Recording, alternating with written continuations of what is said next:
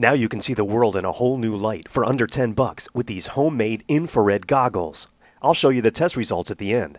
First, I picked up a pair of welding goggles that have removable lenses. Cost $7.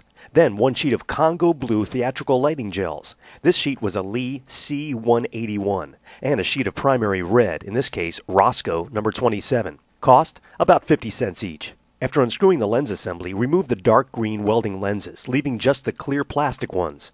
Now, using a welding lens as a template, cut out eight pieces of the blue gel. Then do the same with the red gel, cutting out two pieces.